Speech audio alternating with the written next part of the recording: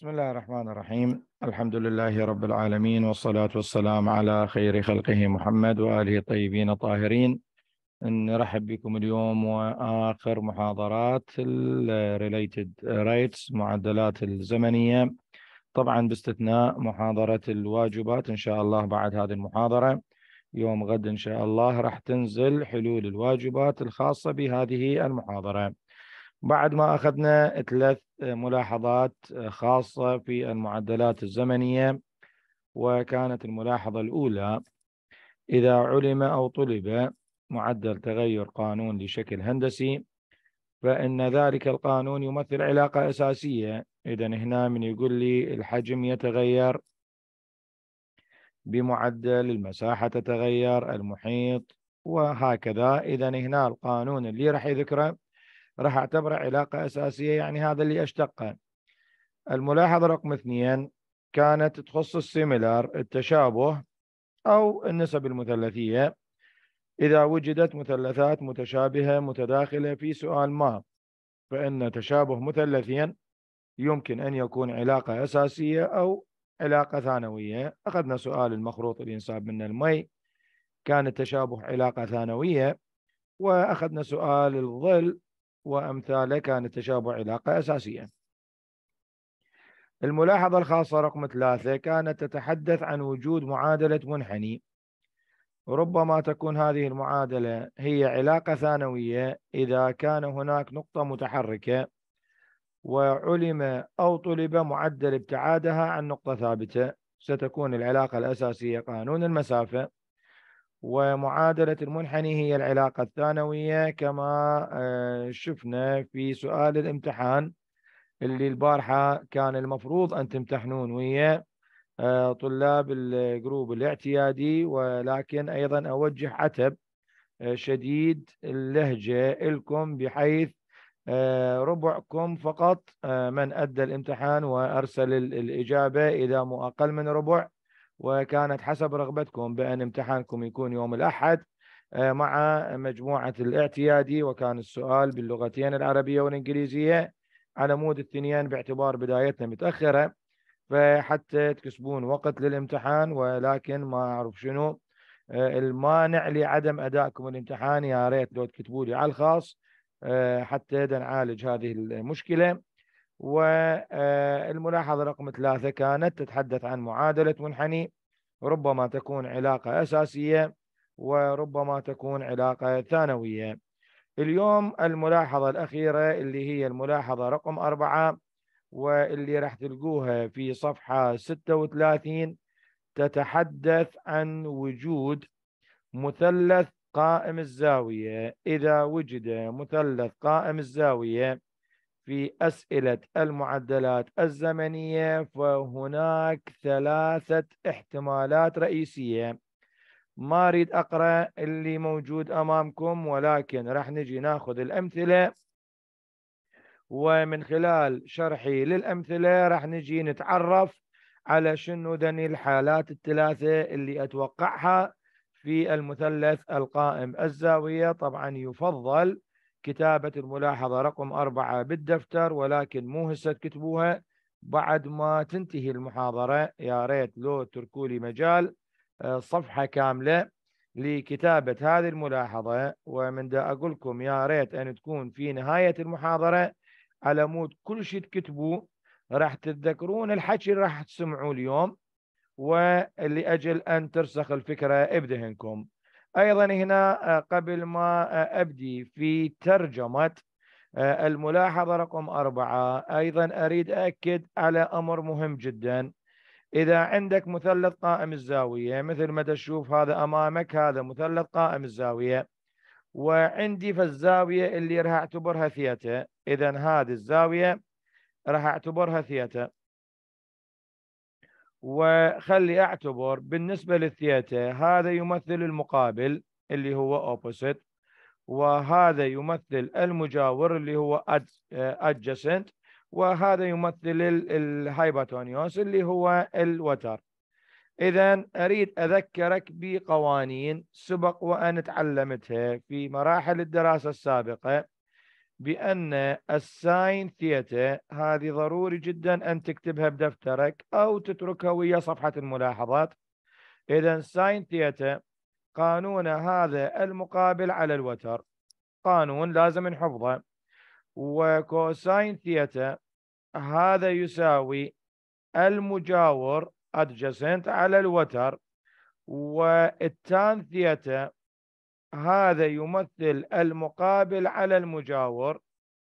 و cotan theta إذا هنا هذا أي و cotan theta يكون مقلوب ال tan تماما يعني معناها المجاور على المقابل و secant theta تساوي مقلوب ال cosine اللي هو الوتر على المجاور وبعد وآخر النسب المثلثية اللي هو cosecant theta راح يكون عندي الوتر على المقابل. إذا كلش هواية راح أحتاج هذه النسب المثلثية لمحاضرة اليوم.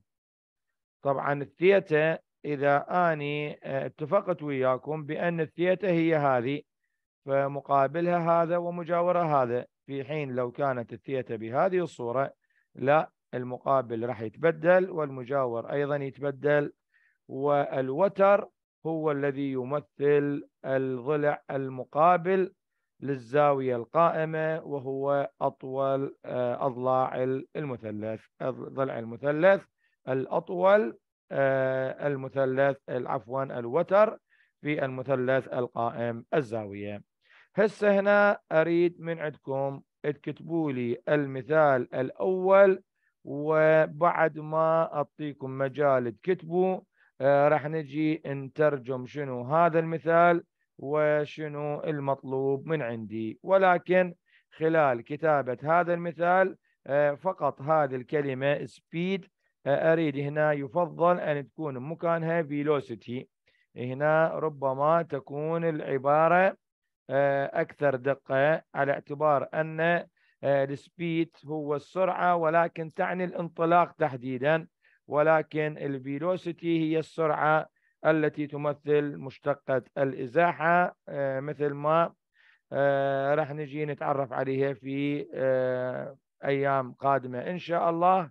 إذا المعدل معدل حركة الأجسام هي نفس سرعتها. قد تكون موجبة وقد تكون سالبة وقد تكون صفر. لذلك راح أسميها فيلوسيتي إذا أعطيك مجال وقت بسيط اكتب لي هذا المثال حتى نحاول نشرحه. طيب إذا هنا السؤال الأول. اليوم راح يكون شرحنا لسؤالين فقط ولكن من خلال هذه السؤالين راح نحاول أن نستعرض كل الفكرة وشنو الاحتمالات اللي ممكن يجي بها السؤال بالإضافة إلى الأسئلة الواجب اللي راح تغطي الاحتمال الرابع. إذا هنا السؤال ده يتحدث عن لدر اللي هو سلم. هذا السلم ناطيني طوله عشرة متر. هذا السلم طوله عشرة متر. الرجاء اترك الكتابة نهائيا. وراح أعطيك مجال تكتب لأن من خلال شرح هذا المثال تقريبا راح أغطي 60% أو 70% من الاحتمال الرابع من خلال المثال هذا فقط. إذا ده يتحدث عن سلم طوله 10 متر يرتكز بطرفه العلوي على حائط رأسي. إذا هنا من ده يقول لي upper end أن يعني ده يقصد نهايته العليا. On a vertical wall إذا هنا ده يستقر أو يستند الطرف العلوي للسلم على حائط شاقولي. طبعا هنا الحائط هو هذا الحائط هذا هنا هذا كل الحائط. وطرفه السفلي إذا هنا at its lower end on horizontal ground إذا هنا يرتكز طرفه السفلي على أرض أفقية. إذا هذا السلم. If the lower end is sliding away from the wall at a rate of 2 meter over second إذا تحرك الطرف السفلي. الطرف السفلي هذا الدرج هذا السلم انزلق وقع. لكن أثناء سقوط هذا السلم أريدك فقط تتصور هذه الحالة. لأن موضوع المعدلات الزمنية مبني على التصور. أني إذا ما قدرت أتصور السؤال ما قدرت أتخيل هذه الحركة شلون صارت ما ممكن أقدر أحل السؤال لأن مهم جدا تعرف من هو الثابت ومن المتغير. أريدك هنا تتصور سلم درج مخليه على الحائط هذا درج الخشب الاعتيادي خاله على الحائط وبعدين الزحلق. زين هذا من يزحلق؟ أكيد طول السلم هذا ثابت ما راح يتغير. طول السلم ثابت. الطرف العلوي اذا هذا الأبر اند كان هنا راح يصير هنا راح يصير هنا راح يصير هنا راح يصير هنا. اذا معناها بعد الطرف العلوي عن الأرض هذا راح يكون في حالة تناقص. وبعد الطرف السفلي عن الحائط كان هنا راح يكون هنا راح يكون هنا هذا راح يكون في حالة تزايد. إذا من خلال هذه الحركة المتوقعة في السلم أكيد هذا الضلع راح يكون في حالة تغير وهذا الضلع راح يكون في حالة تغير والزاوية بين السلم والأرض أيضا راح تكون في حالة تغير. لكن الوتر طول السلم هو ثابت وخطوات الحل من تقول لي الخطوة الأولى فرض المتغيرات بأسماء معينة. إذا منو عندي متغيرات في هذا السؤال؟ إذا هنا المتغيرات راح تكون على ثلاث حالات. النوع الأول إذا إيش راح أقول هنا؟ أقول هنا suppose the distance of the base of the ladder from the wall is x. البعد بين قاعدة السلم والحائط راح أسميها x. and the distance of the head of the ladder. يعني معناها رأس السلم. هسه هنا ما تريد تقول رأس السلم قولي هنا الأبر end. ماكو مشكلة. From the ground is y إذا الخطوة الأولى فرض المتغيرات بأسماء معينة. مو بس هذه. أكيد هنا راح أجي أفرض الزاوية بين السلم والأرض. هذه راح أسميها ثيتا أيضا هذه راح أجي أضيفها ويا الفرضية. الزاوية بين السلم والأرض إذا uh, the angle between the ladder and the ground uh, equal to وراح أسميها ثيتا. شوية خلي أصغر الفرضية. إذا هذه راح أجي أسميها ثيتا. إذا هذه الخطوة الأولى من خطوات الحل. فرض المتغيرات بأسماء معينة. قبل ما أجي أنتقل إلى الخطوة الثانية متفقين إحنا سابقا؟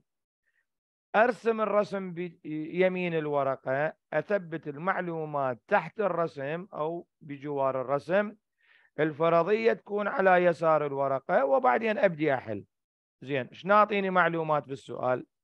ده يقول لي الطرف الأسفل lower end اتحرك مبتعدا عن الحائط بمعدل اثنين. إذا الضلع البعد بين الطرف الأسفل والحائط مسميه X إذا معدل تغير الإكس هذا راح يصير عندي دي على دي تي هذا يساوي اثنين. زين بعد شو يقول when the lower end away is 8 meter from the wall إذا هنا عندما يكون الطرف الأسفل بعيدا أو يبعد عن الحائط بمقدار 8 أمتار يعني عندما يكون الإكس يساوي 8 هذه المعلومات بالسؤال وهذا الإكس يساوي 8 إذا هنا من ده يقول لي وين؟ يعني هسه هذا يعد متغير دائم والمتغير الدائم مكانه الطبيعي يعوض بعد الاشتقاق. وإذا احتاجيت عوضه قبل الاشتقاق لإيجاد متغير دائم آخر ليتم تعويضهما معا بعد الاشتقاق. زين. شو تريد يقول لي المطلب الأول أريد منك rate of sliding of its upper end. يقول لي المطلب الأول أريد منك معدل انزلاق السلم. إذا معناها هذا يريد مني dy على dt هذا المطلب الأول. شو تريد المطلب الثاني؟ يقول أريد منك the velocity of changing the angle between the ladder and the ground. سرعة تغير الزاوية بين السلم والأرض. طبعا ممكن يستبدل كلمة سرعة بكلمة معدل. rate ماكو مشكلة. إذا المعدل والسرعة نفس المعنى. إذا معناها الزاوية بين السلم والأرض. إذا ردت أسميها ثيتا يعني معناها هذا يريد من عندي d theta على dt إذا هذه الرسم المعلومات أسفل الرسم الفرضية على يسار الرسم. قبل ما أبدي بحل السؤال الفعلي لحد الآن اللي عنده أي مداخلة خليه يسأل.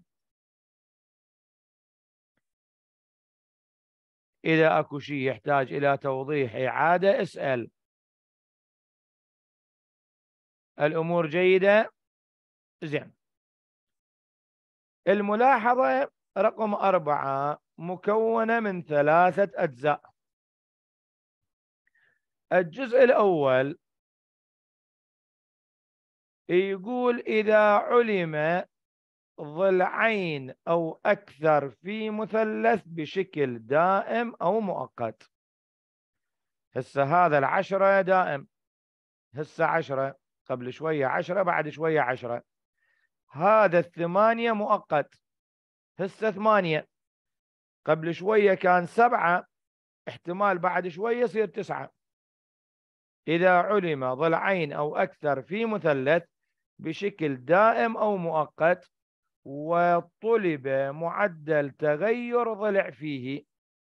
ده يريد مني dy على dt فإن فيثاغورس ستكون علاقة أساسية وعلاقة ثانوية معا.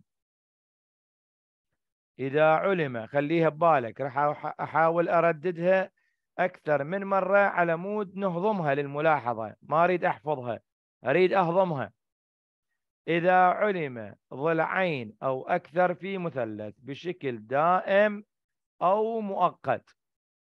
وطلب معدل تغير ضلع فيه فإن فيثاغورس سيكون علاقة أساسية وعلاقة ثانوية. إذا راح أجي أكتب فيثاغورس. شو يقول لي فيثاغورس؟ يقول مربع الوتر اللي هو مية يساوي مجموع مربعي الضلعين القائمين. x تربيع زائد y تربيع. مربع الوتر يساوي مجموع مربعي الضلعين القائمين. قانون أكيد تعرفه. هسه بالامتحان مرة جبت لهم للطلاب سؤال وقلت لهم أيضا عندكم سلم. هنا عفوا مو سلم قلت لهم برج بهذه الصورة إذا أيضا أعطيتهم مثلث قائم الزاوية ولكن هذا برج ارتفاعه ثابت مثلا ارتفاعه 12 وتحركت سيارة بهذا الاتجاه. إذا هذا في حالة تغير X وأريد معدل ابتعاد السيارة عن قمة البرج.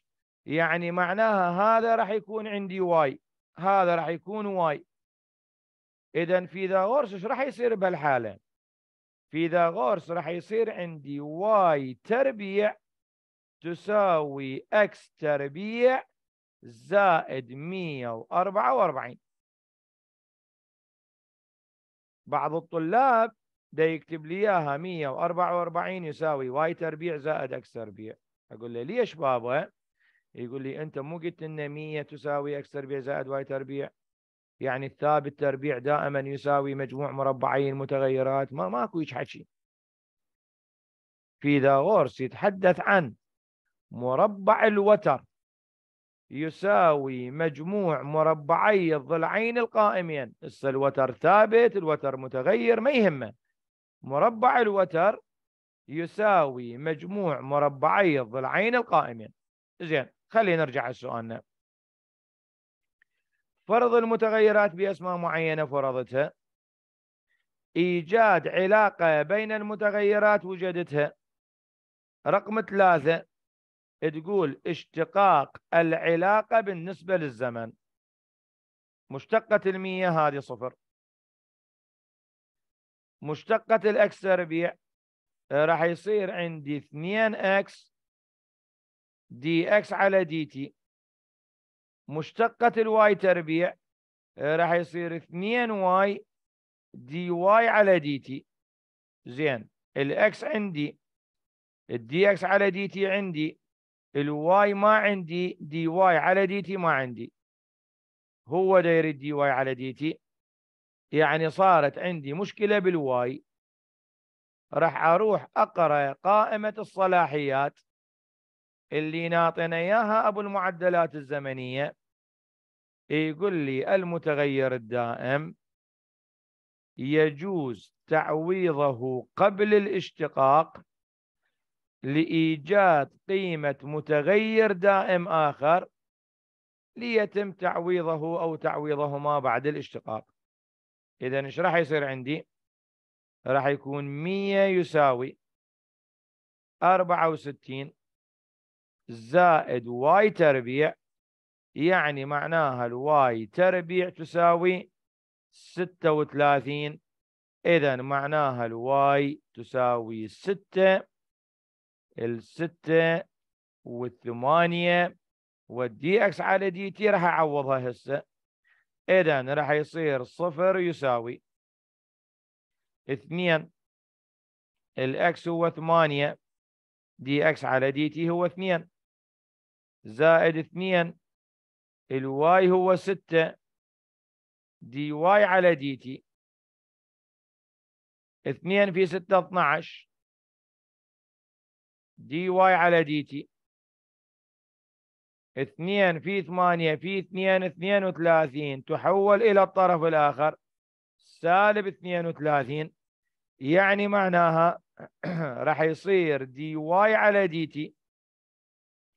يساوي سالب اثنين وثلاثين على 12 اللي هو سالب ثمانية على ثلاثة قسمت على أربعة متر بالثانية. زين هو ما يريد مني معدل تغير الارتفاع هو دا يريد مني هنا rate of sliding of its upper end. إذا معناها راح أجي أستبدل الإشارة السالبة بكلمة انزلاق. إذا معناها هذه العبارة كلها راح تنزل. وإيش راح يصير عندي؟ راح يصير عندي ثمانية على ثلاثة متر بالثانية. إذا هذا معدل انزلاق طرفه العلوي. أريد قبل ما أروح للاحتمال الثاني المطلب الثاني من السؤال يا ريت تحلون هذا الحل مع الرسم اللي موجود أمامكم بدون أن تباوعون على الشاشة وأعطيكم مجال آه، دقائق معدودة وبعدين نفتح باب النقاش. آه، نعم هنا سؤالك جيد جدا. هنا آه، لفظ sliding هنا من نحكي على اللغة العربية. آه، أهل اللغة العربية يتحدثون عن ال sliding يقول فقط عملية سقوط من الأعلى إلى الأسفل. يعني معناها هذا السؤال حتى أعرضه على أهل اللغة العربية ويساعدونا قبل الترجمة إلى الإنجليزية. يقول لي المفروض هذا ال sliding الأولى المفروض ما تقول sliding المفروض تقول هنا moving. اذا هنا هسه هذه إذا ردت أحولها إلى moving فهنا أقول تحرك مبتعدا. فهنا آه، علميا خلينا نقول لغويا على اعتبار إحنا نقول آه، أهل مكة أدرى بشعابها. أهل اللغة العربية الشغلة اللي بيها لغة نحيلها لهم واللي يقولوه هو يصير. إذا هنا فأقول تحرك الطرف السفلي مبتعدا عن الحائط. حتى يكون السؤال أكثر دقة لغوية ما راح أقول ينزلق الطرف السفلي. أقول تحرك الطرف السفلي مبتعدا عن الحائط. جد معدل انزلاق طرفه العلوي حتى يكون السؤال أكثر دقة لغوية إذا كلمة سلايدنج لغويا تعني عملية هبوط من الأعلى إلى الأسفل كأنها تعني عملية انخفاض. إحنا بالاحتمال الأول من كان يعطيني سؤال مال إناء اللي يتسرب منه الماء من قال لي أريد منك معدل انخفاض الماء. وطلع الدي اتش على دي تي يعتقد سالب واحد بالعشرة سالب 0.1 أنا إيش قلت له هنا؟ هنا قلت له اذا point 1 هو معدل الانخفاض. اذا استبدلت الإشارة السالبة بكلمة انخفاض. اذا هنا ال sliding آه، لغويا تعني عملية انزلاق. فتستبدل الإشارة السالبة بكلمة sliding إذا أكو مداخلة أخرى.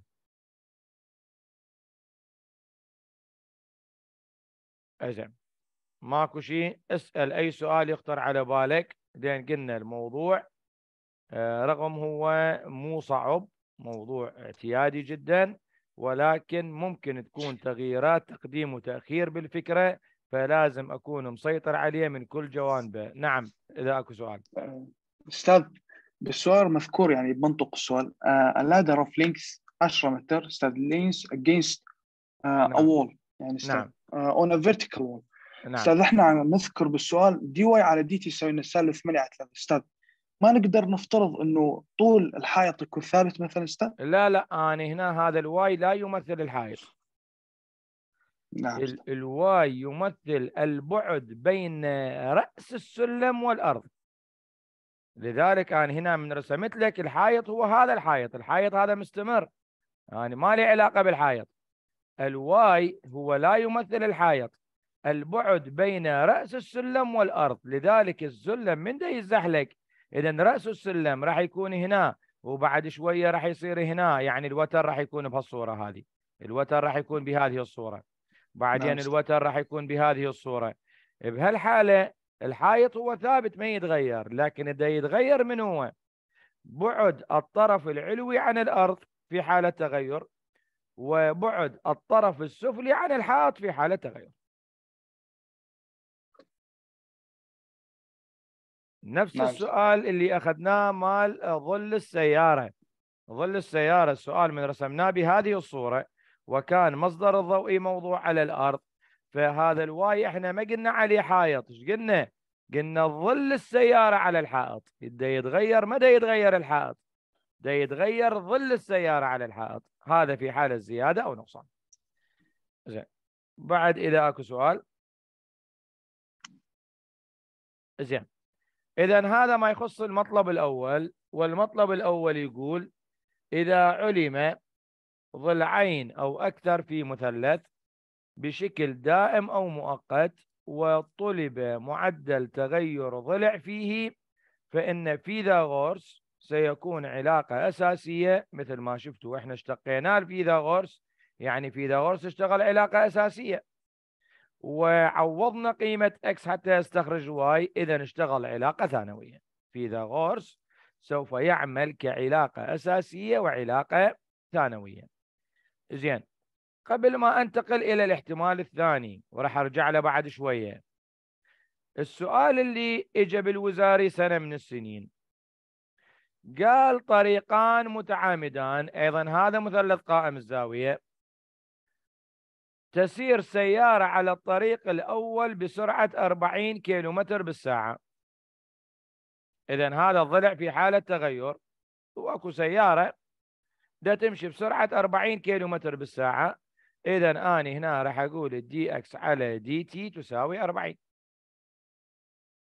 وتسير سيارة أخرى على الطريق الثاني بسرعة 60 كيلومتر بالساعة. أكيد هذا راح يكون في حالة تغير. إذا معناها راح أقول ال dy على dt يساوي 60 شو تريد؟ يقول أريد معدل ابتعاد السيارتين يريد معدل ابتعاد السيارتين إذا معناه هذا الضلع أيضا في حالة تغير.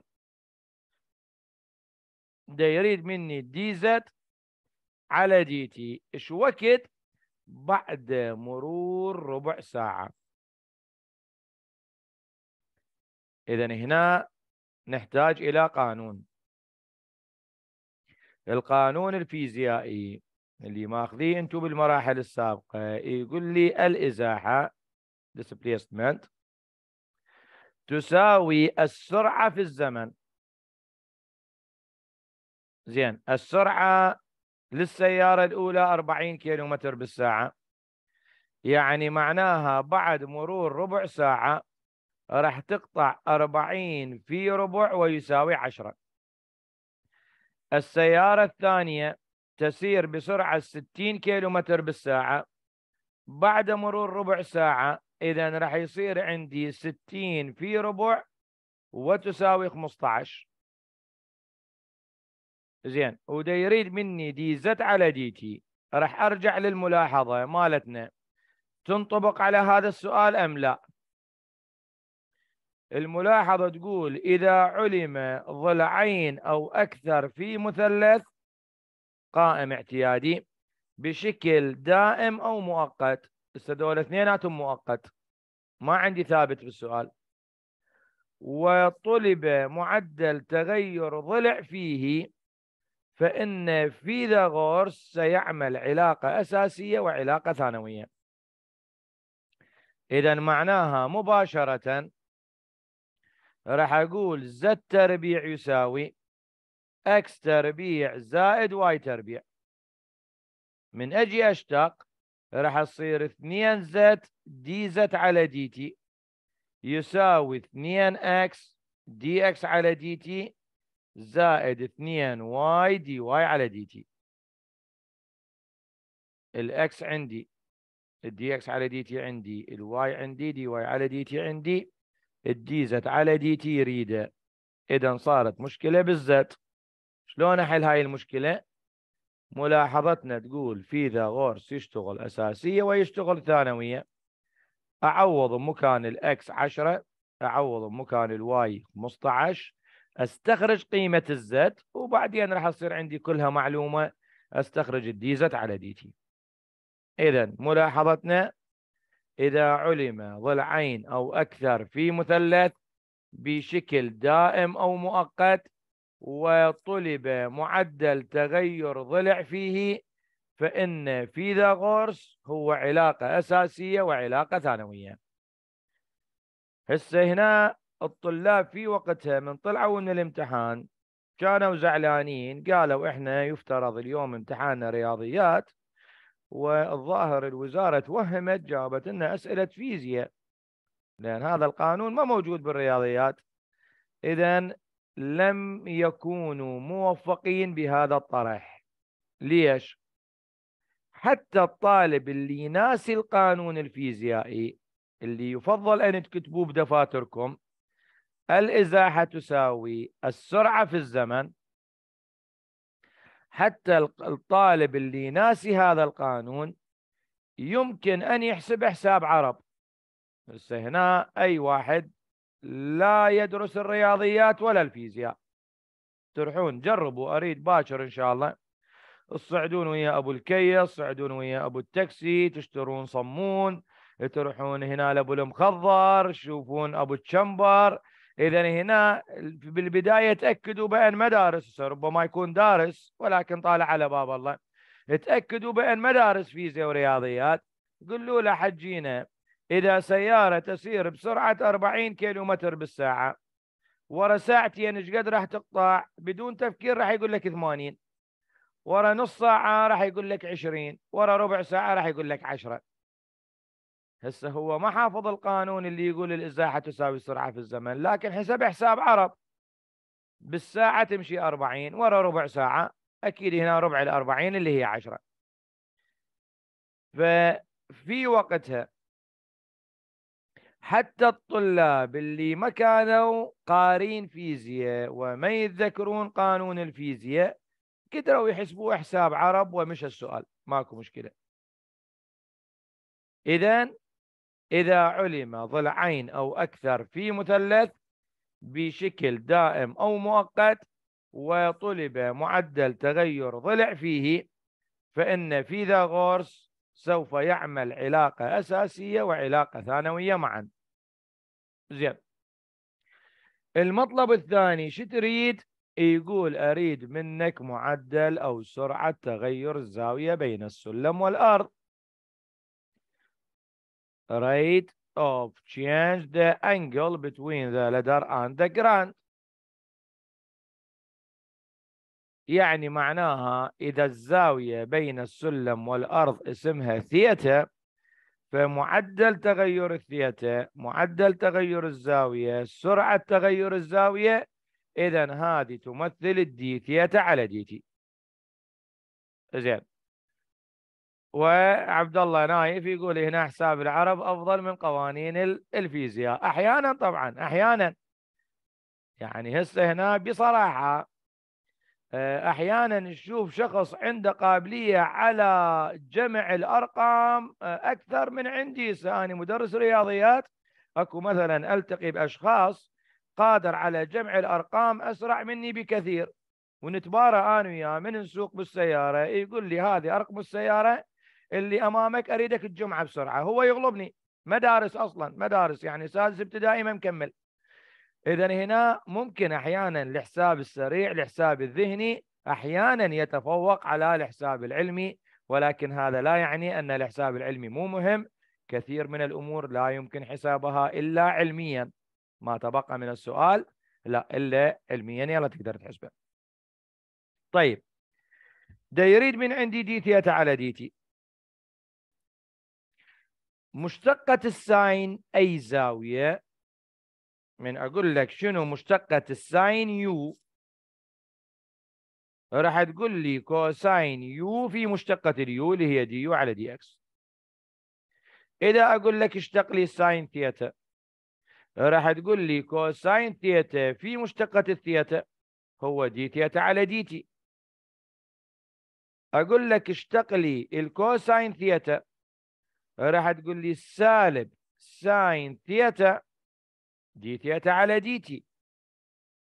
أقول لك اشتق لي ال tan theta مثلا. ال tan theta شنو المشتقة مالته؟ راح تقول لي secant تربيع theta d theta على dt. زين. إذا d theta على dt اللي يريدها مني بالسؤال شلون أقدر أحصلها؟ إذا أقدر أحصلها عن طريق اشتقاق النسبة المثلثية. كم نسبة مثلثية عندي بالرياضيات؟ عندي ستة. sine cosine tan cotan secant cosecant. يعني أن السؤال يحل بست طرق. أي وحدة من ذن الستة تكتبها بالامتحان وتشتقها توصل إلى نفس الجواب وتأخذ درجة كاملة. ولكن بالنسبة للثيتا المقابل مالتها متغير. هذا الأوبوسيت المجاور مالتها متغير اللي هو adjacent. والوتر مالتها ثابت. شو تقول الملاحظة؟ تقول السؤال يحل بست طرق بست نسب مثلثية ولكن أفضل وأسهل النسب المثلثية المختارة هي التي تربط بين ثابت ومتغير ويكون الثابت في المقام. التي تربط بين الثابت ومتغير ويكون الثابت في المقام. يعني شنو؟ إذا ردت أختار على سبيل المثال ال sine. إذا ال sine راح يكون عندي المقابل على الوتر. من أريد أشتق هذا ال y على عشرة وال y على عشرة معناها واحد على عشرة y. شو تصير المشتقة مالته راح تصير واحد على عشرة dy على dt. إذا أحتاج بس ال dy على dt. لكن إذا اختاريت العشرة على y اللي هو ال cosecant يعني معناها عشرة y السالب واحد. شنو المشتقة مالته؟ راح يصير سالب عشرة y السالب اثنين dy على dt. يعني أحتاج ال y وأحتاج ال dy على dt. وإذا اشتقيت ال tan على سبيل المثال التان راح يصير y على x. هذا من أريد أشتقه. الأمور هواية راح تتعقد. المقام في مشتقة البسط. ناقص البسط في مشتقة المقام على المقام تربيع. يعني كلهم احتاجهم لذلك بكيفك أنت. أي نسبة مثلثية تختارها كلها صحيحة ولكن أسهل النسب المثلثية هي التي تربط الثابت مع المتغير على أن يكون الثابت في المقام. إذا ال sine theta أو ال cosine بكيفك. sine theta تساوي y على عشرة. يعني بعبارة أخرى sine theta تساوي واحد على عشرة y شنو المشتقة مالتها مشتقة ال sine راح يصير cosine theta d theta على dt يساوي واحد على عشرة dy على dt مشتقة ال sine. هي cosine نفس الزاوية في مشتقة الزاوية ومشتقة الزاوية هي d theta على dt لو كانت الثيتا معلومة. هاي الثيتا. لو كانت الثيتا معلومة كان عوضت مكانها وعندي dy على dt وانتهى حل السؤال. ولكن ما طول الثيتا ما معلومة. راح أرجع ال cosine إلى أصله. إذا كان ال sine هو مقابل على الوتر ال cosine من هو؟ ال cosine هو مجاور على الوتر. يعني معناها راح يصير x على عشرة. مجاور على الوتر. d theta على dt يساوي واحد على عشرة. dy على dt الأمور صارت جيدة. ال x معلومة عندي. هو ناطني إياها بالسؤال. ال dy على dt استخرجتها قبل شوية اللي هي سالب 8 على 3 وليست 8 على 3 يعني ال dy على dt الأصلية وال d theta على dt يريدها من عندي. يعني معناها راح يصير 8 على 10 دي ثيتا على دي تي يساوي واحد على عشرة. في سالب ثمانية على ثلاثة. عند المساواة يمكن اختصار البسط مع البسط والمقام مع المقام. ثمانية ويا ثمانية تختصر عشرة ويا العشرة تختصر. إذا معناها راح يصفى عندي شنو؟ هو راح يصفى d theta على dt تساوي سالب واحد على ثلاثة. دير بالك الوحدة ليست متر بالثانية. وحدة معدل تغير السرعة هو ال rad ال radian على ال second. زين هذا شي يمثل؟ إذا هذا يمثل هنا ريت معدل تغير. إذا هنا rate of change شنو هو؟ the angle بين من؟ between the ladder and the ground إذا ما هو الفرق بين الملاحظة رقم واحد والملاحظة رقم اثنين؟ الملاحظة رقم واحد إذا علم ضلعين أو أكثر في مثلث بشكل دائم أو مؤقت وطلب معدل تغير ضلع فيه فإن فيثاغورس يشتغل علاقة أساسية وعلاقة ثانوية معا. الجزء الثاني من الملاحظة إذا علم أو طلب معدل تغير الزاوية في مثلث قائم الزاوية فإن العلاقة الأساسية هي نسبة مثلثية. يفضل أن تربط بين ثابت ومتغير ويفضل أن يكون الثابت في المقام. والعلاقة الثانوية فيثاغورس يعني معناها dy على dt. ما معلومة بالسؤال. لو رايد مني فقط المطلب الثاني إذا المطلب الأول أنا لازم أسويه. إذا فيثاغورس راح تشتغل علاقة ثانوية بل وحتى ممكن تشتغل علاقة أساسية وياها. اللي عنده مداخلة على هذا الحكي خليه يتفضل. أستاذ؟ نعم. ممكن يطلب مني يعني d theta على dt ويقول لي وين؟ مثلا بس dx على dt تساوي كذا. فأني لازم أختار العلاقة أحددها لو ماكو هيك شيء يعني. اذا يعني إذا أراد مني فقط المطلب الثاني. أي أي. فأني المطلب الأول لازم أسويه. لأن أني من اختاريت لا هو يعطيني جاهز ممكن يعني؟ يعطيني هو جاهز؟ يعطيني ال d theta يعني على dt؟ أي نعم يعني. أي. ممكن. يعني إذا اعطاني d theta على dt في هذا السؤال ممكن أجيبه لكم بالامتحان. أعطيكم ال d theta على dt واحد على ثلاثة. أقول لكم تتناقص بمعدل واحد على ثلاثة. ونفس هذه المعلومات ولكن ما راح أعطي ال dx على dt dx على dt ما أعطيها. ونعطيكم ال d theta على dt اذا هنا من راح تبدين بال sine وتشتقين ووصلتي إلى هذه المرحلة. زين ال x معلومة. وال d theta على dt معلومة. إيش راح أستخرج؟ أستخرج ال dy على dt. إذا هو رايد مني dy على dt خلص السؤال.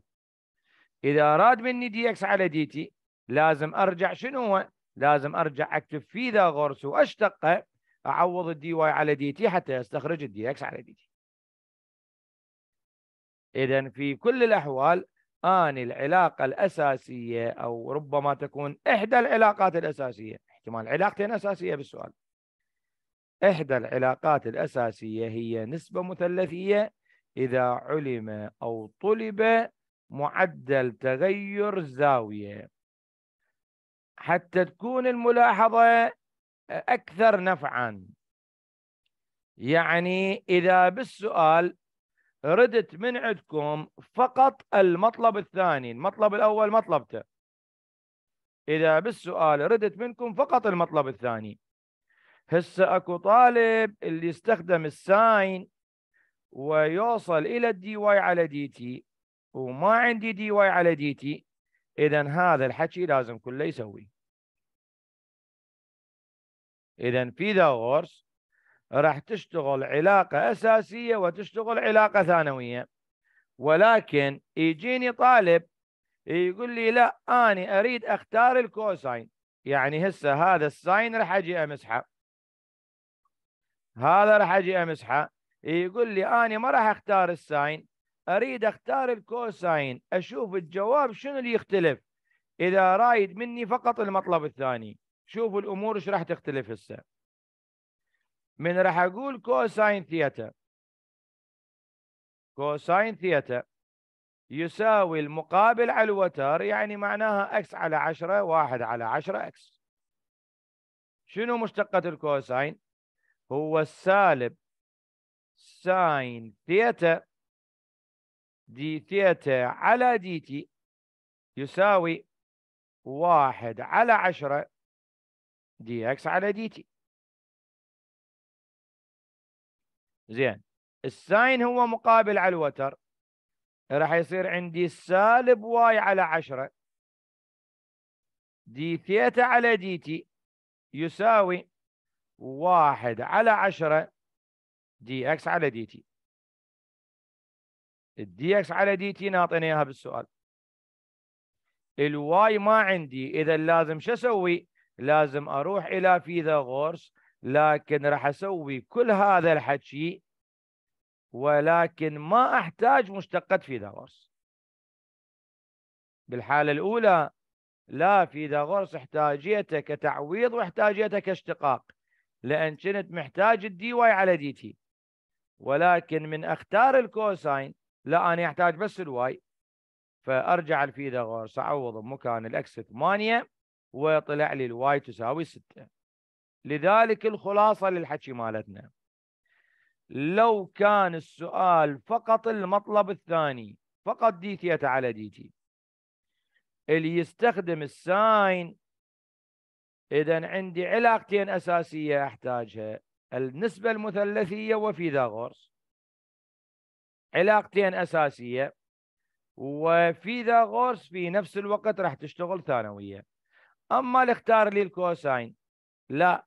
النسبة المثلثية راح تكون هي العلاقة الأساسية.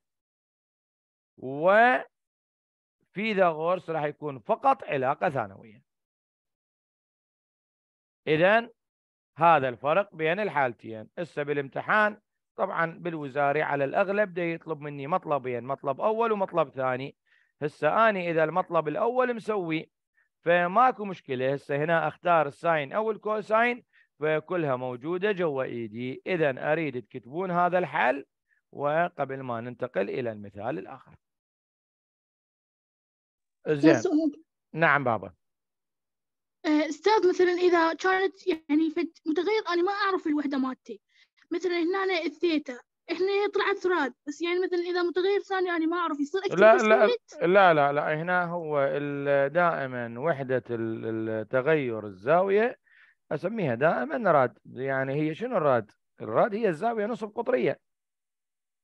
أستاذ يعني لا أقول إذا متغير ثاني أنا ما عرفت يعني الوحدة مالتي. ما عندي متغير ثاني. آه. الزاوية هي هذه راد. دلالة الزاوية نصف قطرية. يعني هذا مو مثل الكيلومتر والمتر والسنتيمتر. هذا الراد هي الزاوية نصف قطرية. يعني ما عندي فشي اسمه آه، راد تربيع أو راد تكعيب أو نصف راد أحول من راد إلى فشي. خلاص هاي زاويه نصف قطرية. لكن ممكن على الثانية ممكن على الساعة ممكن على الدقيقة هذه آخذها من السؤال اللي موجود. تمام زين. هسه هنا آه، نروح إلى سلم آخر.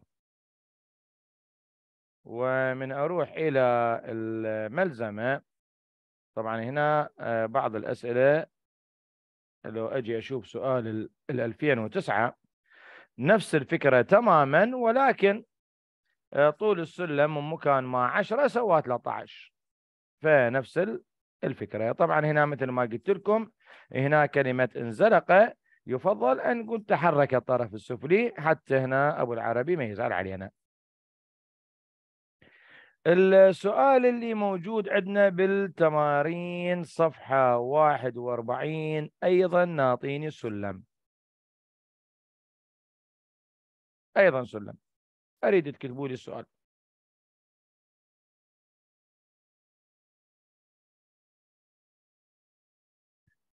إذا السؤال الأول بالتمارين اللي هو ورد, ورد بالوزاري بأكثر من مناسبة.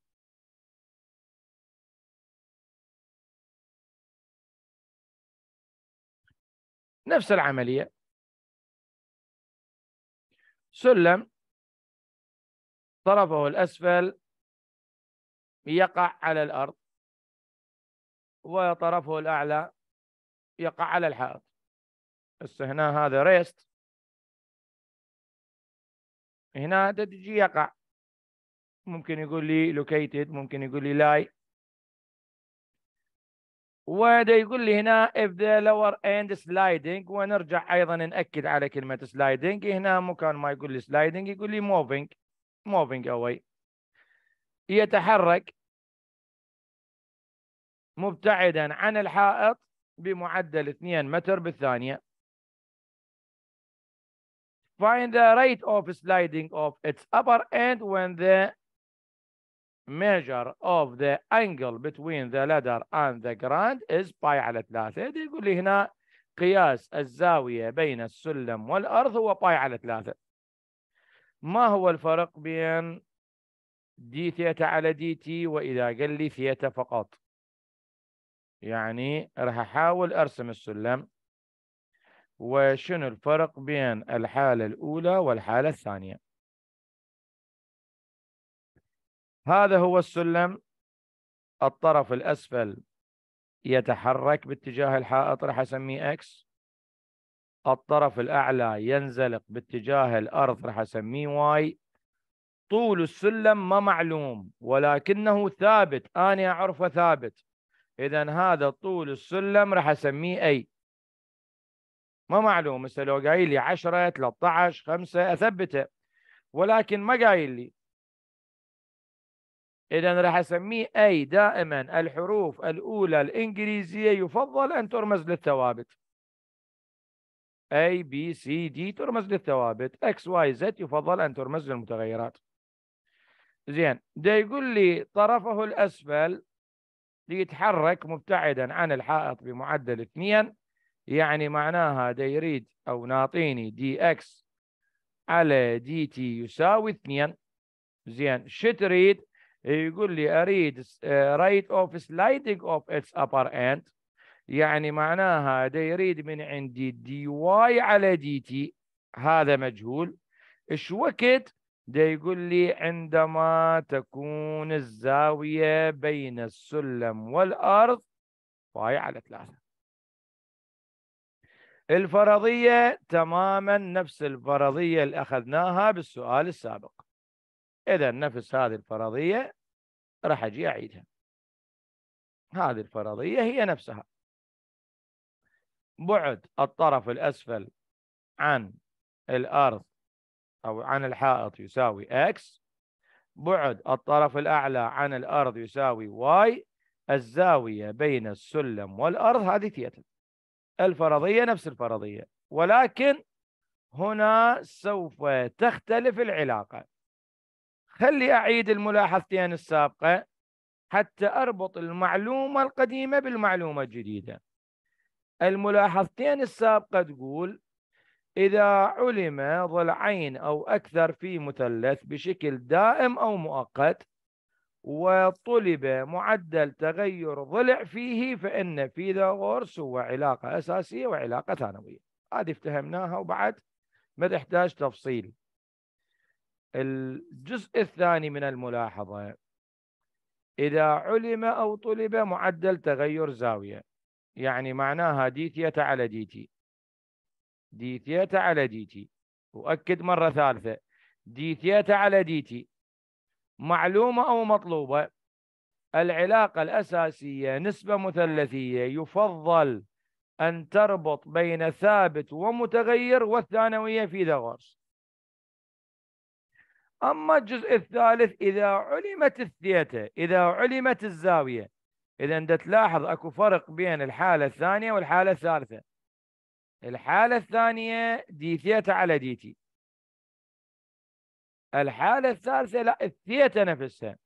إذا علمت الزاوية بشكل مؤقت في مثلث قائم الزاوية فإن العلاقة الأساسية في غورس والعلاقة الثانوية هي نسبة مثلثية يفضل أن تربط بين متغيرين.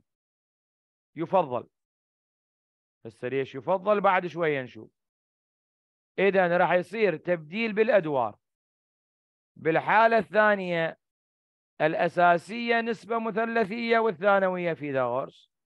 بالحالة الثالثة لا الأساسية فيثاغورس والثانوية هي نسبة مثلثية. إذا شو يقول لي فيثاغورس يقول مربع الوتر اللي هو أي تربيع يساوي مجموع مربعي الضلعين القائمين اللي هو x تربيع زائد y تربيع. مربع الوتر يساوي مجموع مربعي الضلعين القائمين. فرض المتغيرات فرضتها إيجاد علاقة بين المتغيرات انتهينا منها اشتقاق العلاقة بالنسبة للزمن. هنا الطلاب ينقسمون إلى ثلاث أقسام. قسم يشتق صحيح وقسم يقوم يخبطش بنته وقسم آخر يقوم يشبت خبنطه هسه حتى تعرف نفسك من يا قسم من يا قسم أنت. أريدكم تشتقون بينك وبين نفسك ببالك هسه على مسودة أريدكم تشتقون.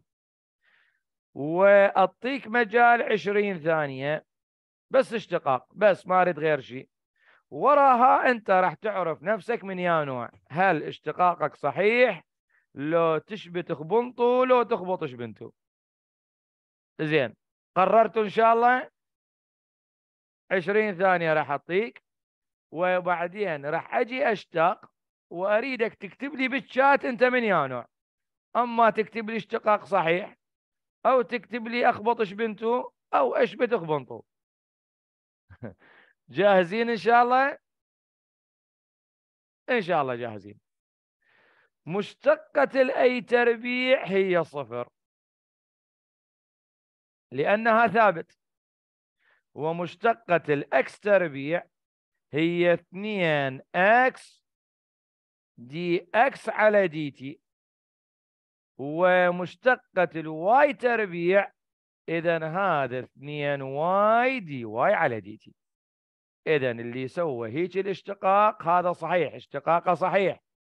واللي قال 2 a يساوي 2 x زائد 2 y يعني أصلا ناسيها dx على dt و dy على dt هذا دا يخبطش بنته. واللي قال لي 2 a da على dt يساوي 2 x dx على dt زائد 2 y dy على dt لا هذا قاعد يشبت خبنطو إذا هسه أنت من يا نوع أريدك هنا تكتب لي. زين. إذا هنا إذا إن شاء الله الاشتقاق مالتكم صحيح.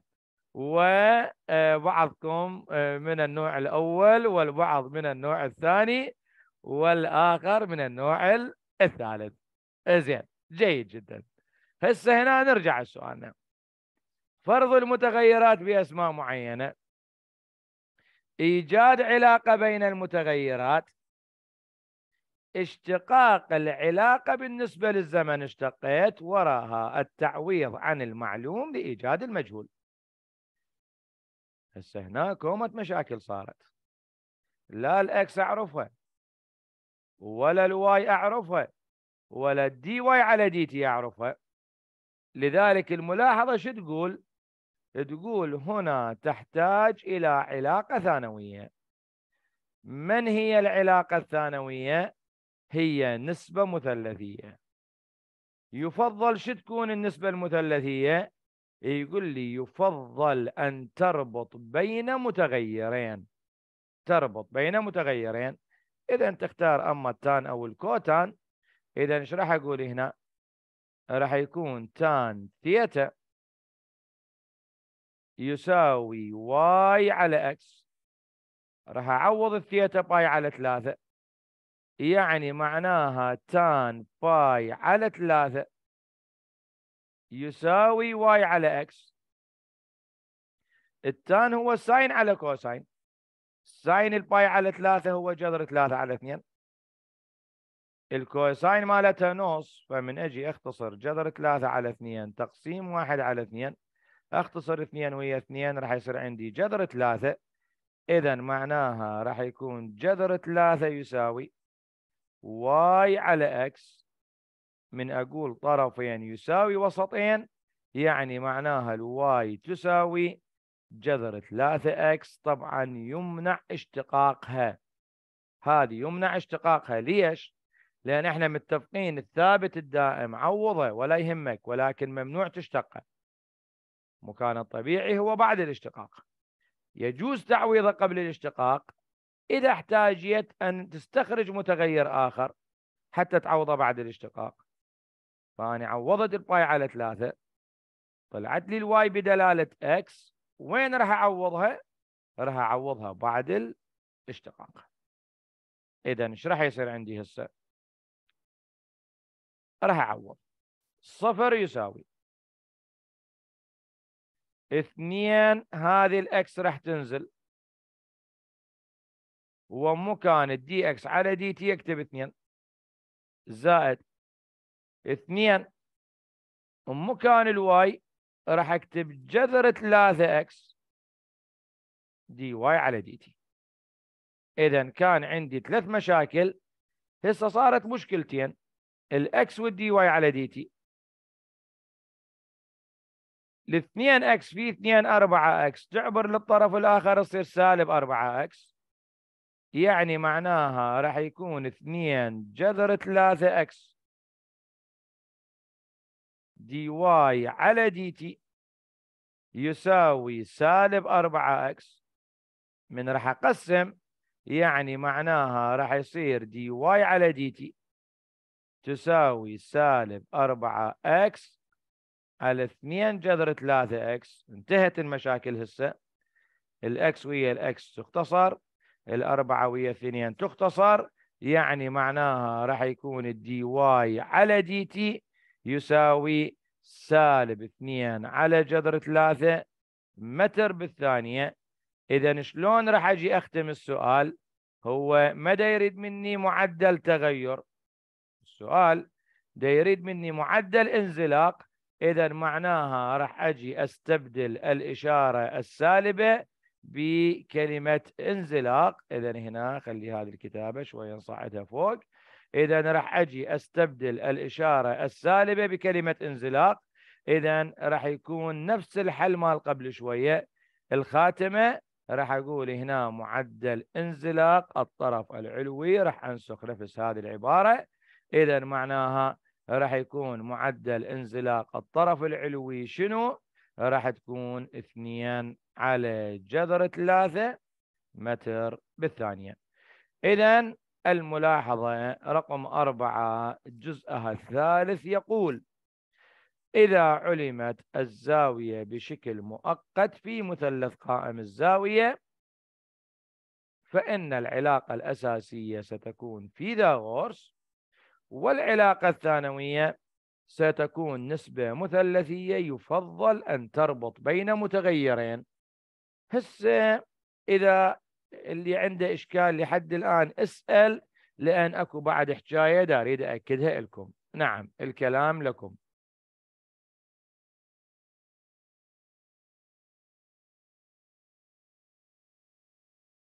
نعم. ماكو سؤال؟ أستاذ. نعم. أستاذ بس أنا الوتر عرفت إن أنت عاملته معاملة يعني الثابت وما نعم. عوضته x y نعم. بس أستاذ مش فهمت ليش؟ شنو عيد سؤالك؟ ما عرفت ليش عاملته معاملة الثابت وهو ما منطينا إلى قيمة بالسؤال. لأن هنا أنت تصور الحالة. السلم يعني هسه هنا القلم اللي شايله بيدك. أريدك ترجيه على الحائط. رجيه على الحائط. تعتبره سلم. وشوية دفعة للقلم. راح يزحلق زين. هنا من راح يزحلق بعد. الطرف الأسفل عن الحائط راح يكون متغير. بعد الطرف الأعلى عن الأرض راح يكون متغير. لكن طول القلم ما راح يتغير. إذا هذا ثابت. فما طول استنتجته ثابت إذا عوضته أي هسه لو ناطيني قيمته كان عوضت قيمته. ما ناطيني قيمته فهنا عوضته فقط أي تمام أستاذ زين. بس إنه مثلا يعني ما يحتاج إنه أكتب فد شيء لو بس قبل اعوضه اي هو أبو الوزاري يفتهم إنه هذا ما ثابت يعتبر. ما خليته. ضمن الفرضية يعني هذا ثابت. لأن إحنا الفرضية مالتنا تقول فرض المتغيرات بأسماء معينة. هذا لو كان متغير كان ذكر ويا الفرضية. بس إحنا إيش متفقين سابقا؟ في أول محاضرة بالمعدلات الزمنية قلنا الثابت يثبت على الرسم. ويثبت على الرسم رقما وإذا ماكو رقما أثبته حرفا بس الحروف الأولى الإنجليزية. لكن المتغير يثبت على الرسم حرفا ويثبت خارج الرسم رقما. تمام أستاذ أشكرك. بعد. زين هسه يجي طالب يقول لي ماذا آه، لو اختاريت ال sine أو اختاريت ال cosine إيش راح يفرق عندي الحل؟ لأن يقول لي بالاحتمال الثاني العلاقة الأساسية كانت نسبة مثلثية يفضل أن تربط بين ثابت ومتغير فيقول شنو الضير ما أنا أسوي بين ثابت ومتغير بالحالة الثالثة؟ أقول له خلينا نجرب ونشوف شنو النتائج. لو مختار ال sine pi على ثلاثة يساوي y على a مقابل على الوتر. sine pi على ثلاثة هو جذر ثلاثة على اثنين. يساوي y على a من راح أقول طرفين يساوي وسطين راح يصير اثنين y تساوي جذر ثلاثة a يعني معناها ال y تساوي جذر ثلاثة a على اثنين. زين هذا جذر ثلاثة a على اثنين. إذا مكان ال y كان عندي ثلاث مشاكل. ال x وال y وال dy على dt زين لغيت ال y كتبت مكانها جذر 3 على 2 a. اذا ثلاث مشاكل بقت ثلاث مشاكل ما سوينا شيء. زين واللي مختار ال cosine؟ يقول cosine pi على 3 يساوي x على a. و cosine pi على 3 هو نصف. إذا نصف تساوي x على a. طرفين يساوي وسطين. 2 x تساوي a إذا معناها ال x تساوي a على 2 زين هم سوينا شيء يعني كانت المشاكل سابقا y x و y و dy على dt إذا مكان ال x اكتبت a على 2 كانت ثلاث مشاكل بقت ثلاث مشاكل. ولكن لو أعوض مكان ال x بدلالة A وأعوض مكان ال y بدلالة A وبعدين كل واحد أخليهم بطرف وأقسم أيضا راح أجي أختصر ال a ويا ال a وراح يطلع نفس الجواب. لذلك اللي يختار ال sine لازم يختار وياها ال cosine يعني ال sine وحدها مو كافية. ال cosine وحدها مو كافية لازم اثنيناتهم. لكن اللي يختار ال tan لا وحدها كافية. اللي يختار ال cotan وحدها كافية. لذلك هنا قلت لك يفضل اختيار نسبة مثلثية تربط بين متغيرين. إذا أكو سؤال آخر.